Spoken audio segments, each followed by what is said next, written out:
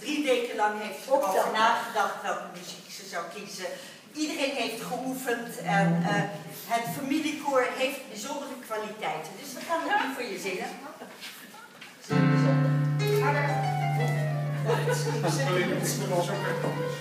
Nee, de tekst in de Deze tekst.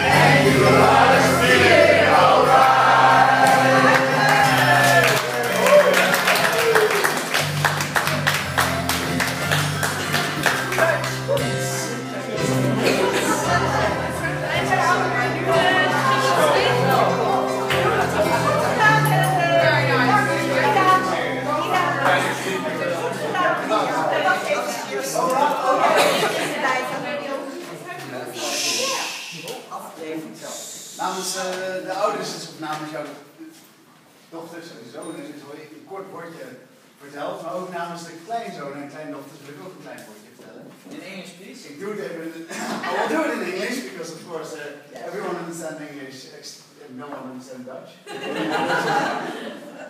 um, well, this is a very special moment. Of course, we're with all the family together. And you pointed out that everyone needs to like each other. And one way of liking each other is uh, seeing each other and making uh, memories, but also making explicit memories. And for that reason, uh, we as the children have a, or the grandchildren actually, have a special gift for you. It will be coming on uh, Monday in the morning, I guess. 11 o'clock. 11 o'clock something.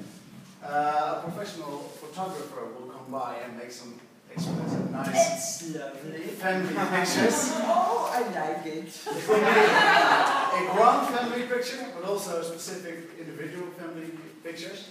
And additional to that, we also want to make uh, one, the, the, nicest photo with, with all of us. We want to make one big canvas photo for you to place in your home as a memory, eternal memory of this grand family. I can't wish better.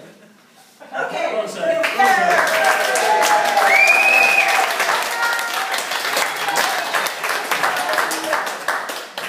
Niks